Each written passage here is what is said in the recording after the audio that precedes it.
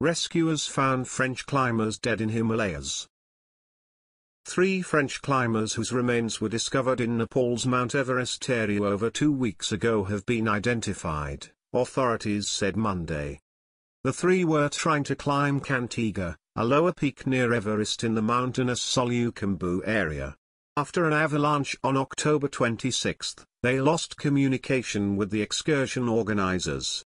The remains have been transported to Lukla, the entrance to Mount Everest and the largest city in the Solukhumbu province, which includes the world's highest peak, and will be flown to Kathmandu for postmortem. There are eight of the world's 14 tallest mountains in Nepal, including Mount Everest, which provides a significant source of cash for a poor nation that relies on tourism and remittances from foreigners for its survival. Nepal's Himalayan peaks, restricted to international climbers last year owing to a coronavirus epidemic, gradually reopened this year.